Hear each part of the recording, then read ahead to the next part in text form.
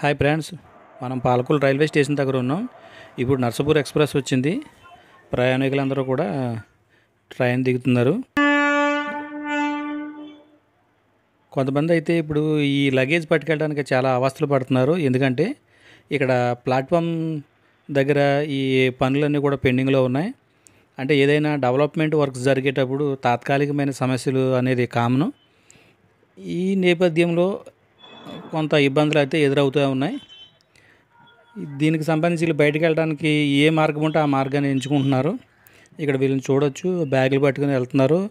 ఈ ప్లాట్ఫామ్కి సంబంధించింది ఏదైతే ఇక్కడ వాల్ కడతారో దానికి సంబంధించిన బేస్మెంట్ దాటి వెళ్తున్నారు. ఇది రిస్క్ ఈ రకంగా అయితే చేయకూడదు. ఎందుకంటే అక్కడ ఊసలన్నీ కూడా ఉన్నాయి. ఏదైనా అయితే మళ్ళీ ఇబ్బంది పడే పరిస్థితి ఎదురవుతుంది. పాలకొల్ రైల్వే స్టేషన్ చాలా బాగున్నది. ఇది వరకు ఏంటంటే పురాతనంగా ఉండేది. ఇప్పుడు మనం ఎక్కడో సిటీలో పెద్ద సిటీలో ఉన్నట్టుగానే మన పాలకొల్లు రైల్వే స్టేషన్ కూడా ఆధునీకరణ చేయబడ్డది డబుల్ ట్రాక్ రావడంతో. ఇక్కడ ఉన్న పరిస్థితి అంతా కూడా ఒక్కసారి మీరు క్లియర్గా చూస్తే వావ్ అంటారు ఖచ్చితంగా. ఎందుకంటే అంత అందంగా తయారు చేశారు. ఇక ప్లాట్ఫామ్ నెంబర్ వన్ దగ్గర కొన్ని పనులు పూర్తి కావాల్సి ఉంది. వాటికి సంబంధించిన వర్క్స్ అయితే నడుస్తున్నాయి. మూడు నెలల్లో ఫ్లోరింగ్ పనులు అని పూర్తి అవుతాయని చెప్పేసి రైల్వే అధికారులు అన్నారు. పైన ఇంకా షెడ్డు అవన్నీ.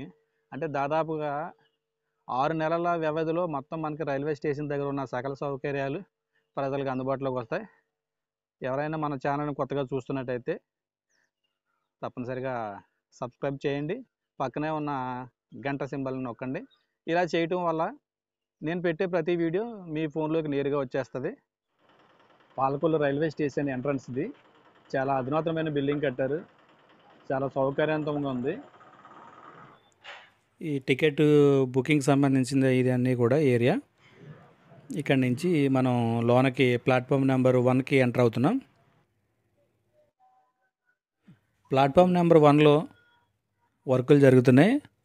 అయితే ఇప్పుడు ఇది కోవిడ్ రాకుండా ఉండుంటే ఈ మనకి ఈ పాటకి ఇప్పుడు వన్ ఇయర్ ముందే ఈ వర్క్లన్నీ పూర్తి అయిపోయి డబుల్ ట్రాక్ సంబంధించి కానీ ఈ ప్లాట్ఫామ్ సంబంధించి కానీ షెడ్యూల్ కానీ ఇక్కడ ఉన్న ఈ మొత్తం అన్ని రకాల వసతులు కూడా మనకి సమకూరేవి. కాకపోతే ఈ కోవిడ్ వల్ల మొత్తం అన్ని ఆర్థికంగా నష్టమే కాకుండా ఆ డెవలప్మెంట్ వర్క్స్ కూడా భారీ నష్టం కలిగింది. పనులన్నీ ఆగిపోయాయి. ఇప్పుడు మనకి ఈ అధునాతనమైన బిల్డింగ్లో మనకు మనకి అన్ని రకాల సౌకర్యాలు ఉన్నాయి. షాపింగ్ కాంప్లెక్స్ సంబంధించింది కానీ అది వ్యాపార పరంగా మొత్తం అన్నీ కూడా పెట్టారు. ఇక్కడికి నేరుగా కారు రావడానికి వచ్చినప్పుడు ఇబ్బందికర పరిస్థితి ఉండేది. మనం బయట నుంచి ఇక్కడ. ఇప్పుడు ఆ పరిస్థితి ఉండదు. డైరెక్ట్గా కారు పైకి వస్తుంది.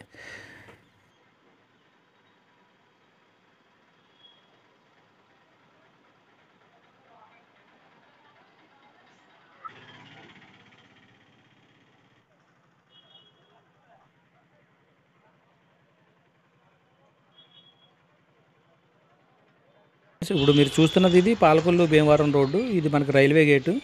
గతంలో సింగిల్ లైన్ ఉన్నప్పుడు తక్కువగా గేట్ వేసేవారు తక్కువ సార్లు. ఇప్పుడైతే మాత్రం పదే పదే అన్నట్టుగా ఉంది. చాలామంది ఇబ్బంది పడుతున్నారు. భారీ వాహనాలు కూడా ఇటు నుంచి అనుమతి లేదు.